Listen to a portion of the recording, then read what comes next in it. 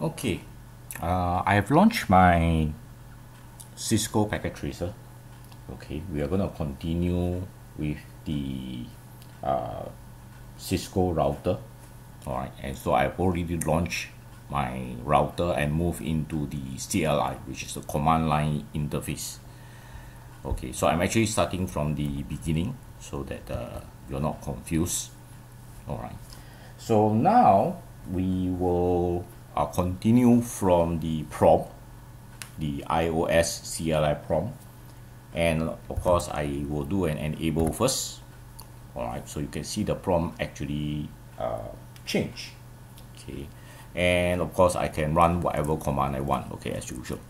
Okay, but now I want to run a command called show history.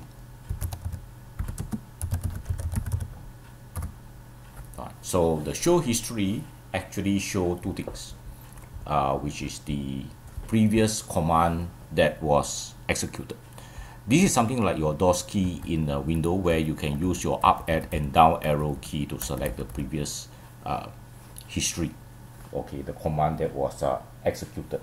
But uh, if you think about it, this is also good uh, for administrators as well as a forensic investigator okay, uh, to identify what command was previously run. All right uh, but you need to know what is the maximum that it can handle. So to do to see that information you need to show okay the terminal which will tell you the terminal's uh, setup or the setting.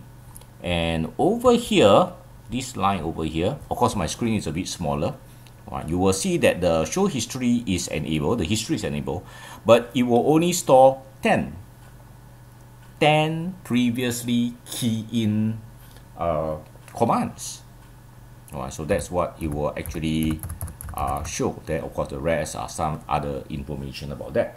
But what if the person that's creating mischief knows that the default of this show history is actually 10. The default setting of this router, this brand of router or this model of the router is actually 10. Then he or she will just uh, randomly key in another 11 so-called uh, commands. Then whatever he has done, the command that he has executed get pushed out. All right. So that's what we want to tackle here is we do not want uh, to leave it as such a small little size as 10. So how do I change this? Well, you change it by changing the terminal setting. Which setting do you want? Which is the history setting because that's what's up there. And what do I want to change? I want to change the size. So right now is actually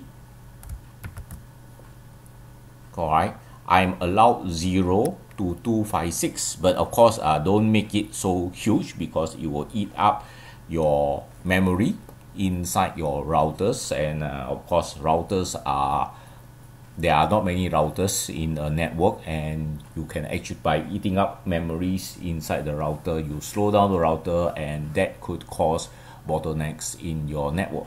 Okay so let's say I go for 25 right. did my setting went in? Okay because there is no confirmation. Well uh, easy way to see this is to show the terminal again.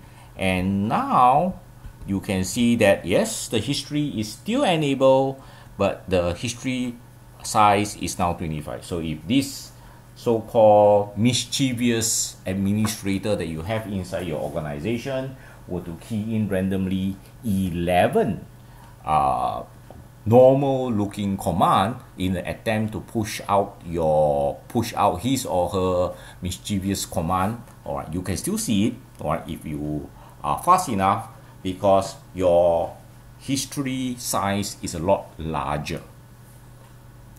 Okay so hopefully this can be used for the administrator of a network or uh, for forensic investigator, computer forensic investigator in that case for cybersecurity, you can actually uh, change this. So hopefully you can catch the problem all right and of course print screen it or even just take a photo of it okay so that it can be used as an evidence